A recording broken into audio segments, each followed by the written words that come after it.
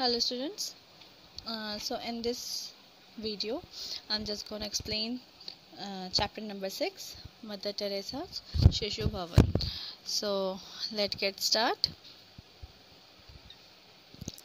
the nursery is filled with uh, with rows of cots and it its painted walls are covered with bright pictures ठीक है तो इस story में एक nursery की बात की गई है और एक्सप्लेन किया गया है कि वो कैसे वेल well, सराउंडेड है और वो उसका कैसा मतलब वो डिस्क्राइब किया गया है कि उस, वो देखने में कैसे लग रहा है नर्सरी स्टूडेंट नर्सरी क्या होता है? नर्सरी एक ऐसी जगह होती है जहाँ पे कि छोटे बच्चों को रखा जाता है और उनका लुक आफ्टर किया जाता है, उनका देखभाल किया जाता है ओके सो देखिए the nursery is filled with rows of cots cots किसको बोलते हैं? जिसमें छोटे बच्चे सोते हैं, ठीक है? उसको कॉट्स बोलते हैं।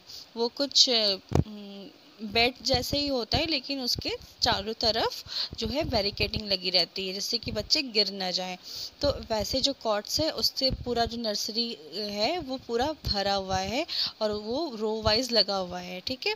और जो नर्सरी का जो वॉल है वो क्या है? पेंटेड uh, वॉल्स जो है वो किससे है? बहुत ही ब्राइट कलर के पिक्चर्स बने हुए हैं उसमें जैसे कि वो देखने में सुंदर लगे। The room is well ventilated and clean तो जो रूम है वो क्या है? वो वेल वेंटिलेटेड है. वेंटिलेटेड मतलब क्या होता है? जिसमें कि अच्छे से हवा मतलब पास होती है, ठीक है? हवा आती जाती रहती है।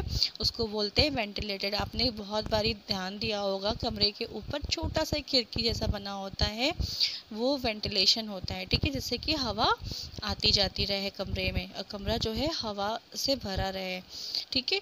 तो ये जो नर्सरी का कमरा था, ये भी वेल वेंटिलेटेड कमरा था और बहुत साफ़ सुथरा था।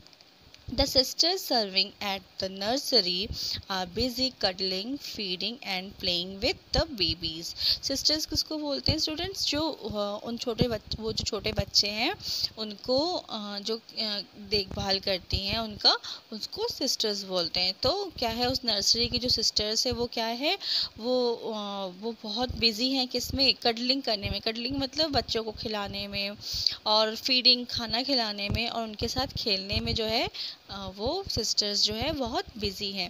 A large variety of toys are scattered all over the room and laughter of the children of all ages can be heard all the time ठीक है? तो क्या बोल रहा है? A large variety of toys बहुत ही अलग अलग तरीके से बहुत ढेर सारी जो खिलौने हैं, वो कमरे में जो है, चारों तरफ़ स्कैटर्ड स्कैटर्ड मतलब इधर उधर बिखरे पड़े हुए हैं। और हमेशा जो है, हर तरह के उम्र के बच्चे की हँसी उस कमरे में सुनाई पड़ रही है हमेशा। हर समय सुनाई पड़ती है। ठीक है मतलब कहने का मतलब है कि वहाँ पे बच्चे जो है हमेशा बहुत खुशी से रहते हैं। ठीक है? All the children are sorry the children are all clean well dressed and well fed and healthy ठीक है जो uh, बच्चे हैं वहाँ पे वो क्या है? ऑल क्लीन वो बिल्कुल साफ़ सुथरे हैं, एक भी बच्चा गंदा नहीं है। वेल ड्रेस्ड उनके जो कपड़े हैं वो बिल्कुल अच्छे से धुले हुए और अच्छे से वेल ड्रेस्ड है मतलब कहीं से फटे नहीं, बिखरे नहीं, ऐसे नहीं हैं। वेल फेड वेल फेड मतलब अच्छे से पेट भर के खिलाया हुआ लग रहा है। बच्चे जो है, लग रहा है कि भूखे नहीं है, बिल्कुल उनका पेट भरा हुआ है एंड वो क्या है, बिल्कुल हेल्दी हैं, स्वस्थ हैं। These childrens have been left abandoned by some poor parents some are orphaned जो ये बच्चे हैं, वो कहाँ से आए? ये बच्चे कैसे हैं? ये बच्चे, ये वो बच्चे हैं जिनको कि कुछ जो गरीब पेरेंट्स हैं, उनके द्वारा छोड़ दिया गया है। ठीक है? कुछ ऐसे पेरेंट्स होते हैं, कुछ लोग होते हैं जो इतने गरीब होते हैं कि अपने बच्चे को पाल नहीं सकते। तो वो ऐसे कंडीशन में क्या करते हैं? वो बच्चे को कहीं फेंक देते हैं या कहीं रख जाते हैं कि कोई दूसरा हमारे बच्चे को ले जाएगा और उसको पाल पोस के बड़ा बड़ा करेगा, ठीक है? तो ऐसे बच्चे को बोलते हैं अबेंडेंड ठीक है? तो these childrens have been left abandoned by some poor parents ठीक है? क्योंकि वो गरीब होते हैं। तो ये बच्चे जो हैं, कैसे बच्चे थे? जो नर्सरी में थे, वो अबेंडेंड बच्चे थे, जो कि गरीब पेरेंट्स के छोड़े हुए बच्चे थे। सम आर ऑफेंड और कुछ बच्चे ऐसे थे जिनके कि माँ बाप थे ही नहीं, या तो मर गए थे, अनाथ थे। ठीक है? ऑफेंड मतलब ऑफेंड मतलब अनाथ। ठीक है? Mother Teresa called this abandoned children Jesus in distressing disguise ठीक है? जो मदर टेरेसा जिनके ऊपर की ये पूरी स्टोरी है मदर टेरेसा ठीक है?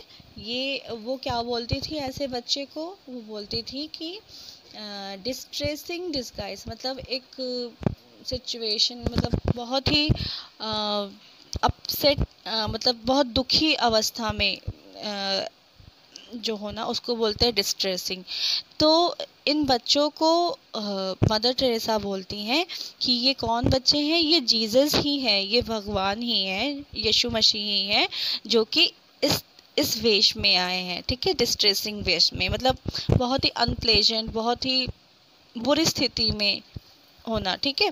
ऐसी वेश में बना के जीसस ही आए हैं.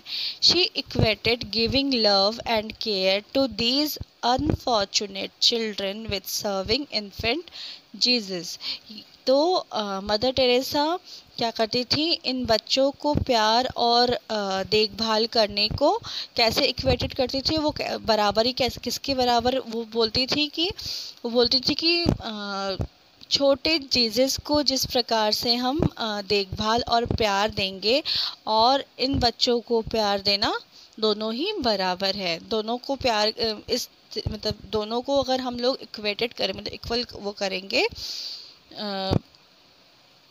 अगर हम बराबरी करेंगे तो दोनों ही बराबर है।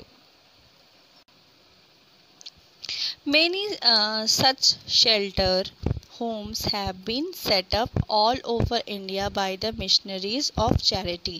ठीक है? एक uh, संस्था है ठीक है? कौन आ, क्या है? मिशनरी ऑफ़ चैरिटी ऐसे लोग जो कि परोपकार करते हैं जो चैरिटी करते हैं ठीक है?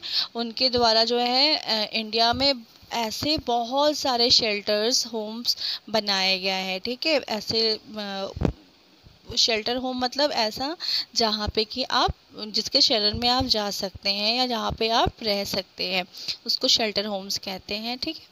तो ऑल ओवर इंडिया में द मिशनरीज ऑफ़ चैरिटी द्वारा बहुत सारे ऐसे शेल्टर होम्स बनाए गए हैं। They have been named as Shishu Bhavan और उन्होंने ऐसे शेल्टर होम्स को क्या नाम दिया है? शिशु भवन नाम दिया है। These Shishu Bhavan are a symbol of hope जो ये शिशु भवन है, वो क्या है? वो एक आशा का प्रतीक है, ठीक है? The sisters believe in work for the service of the poorest of the poor ठीक है? ये जो यहाँ पे और यहाँ पे जो काम करती हैं, जो सिस्टर्स हैं, वो कैसे काम पे बिलीव करती हैं, वो अपना सर्विस मतलब गरीब से गरीब जो बच्चे हैं, उनको भी वो अपना बेस्ट का मतलब सर्विस देना सर्विस देने में बिलीव करती हैं, ठीक है? वो ये यकीन रखती हैं कि हम कितने भी गरीब हो, कितने भी कैसे हो, लेकिन उनको भी हम अच्छे से ट्रीट करेंगे, अच्छे से उनका देखभाल करेंगे। While they go out for their daily service They often find babies abandoned in garbage dumps and street corners ठीक है, जब वो अपने डेली काम के लिए बाहर निकलती हैं, अपनी रोज़मर्रा के काम के लिए जब भी वो बाहर निकलती हैं तो वो अक्सर उन्हें जो है कुछ छोड़े हुए बच्चे दिखाई पड़ते हैं। कभी वो उन्हें कूड़े कचड़े के ढेर में मिलते हैं, कभी किसी सड़क के किनारे पे। This babies are abandoned by those parents who are unable to take care of them because they are very poor ठीक है? तो ये जो बेबीज़ होते हैं, वो क्या है? ऐसे पेरेंट्स के द्वारा छोड़े हुए होते हैं, जो कि उनका ध्यान नहीं रख पाएँगे और वो क्या है? बहुत ही गरीब है। Often this children are weak weak sick and very close to death at the time they are found तो जब ये बच्चे मिलते हैं तो उनकी उनकी सिचुएशन क्या कैसी होती है? बहुत ही कमज़ोर होते हैं या बीमार होते हैं या तो इतने ज़्यादा बीमार होते हैं कि मतलब लगता है कि वो अब मर ही जाएँगे मतलब आ, मरने के कगार पे होते हैं। जब वो उनको वो मतलब इन सिस्टर्स को मिलता है। The sister taken sorry the sister take them to Shishu Bhavan और जो सिस्टर्स हैं, जब उनको ऐसे बच्चे मिलते हैं तो वो क्या करते हैं, उनको शिशु भवन में ले आते हैं। There they are given bath fed and also given medicines और वो क्या करते हैं वो जो सिस्टर्स हैं वहाँ शिशु भवन में उनका क्या करते हैं उनको अच्छे से नहलाते धुलाते हैं अच्छे से उनको खिलाते हैं। फेड मतलब खिलाना उनको खिलाते हैं। मतलब खाना खिलाना फेड मतलब खाना खिलाना अच्छे से उनको मेडिसिन देते हैं। So student that is all about today rest of the portion I will uh, explain uh.